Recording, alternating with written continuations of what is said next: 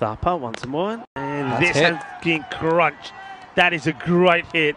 And uh, Ali at the moment is throwing all the punches, isn't he? And this is a knockout blow.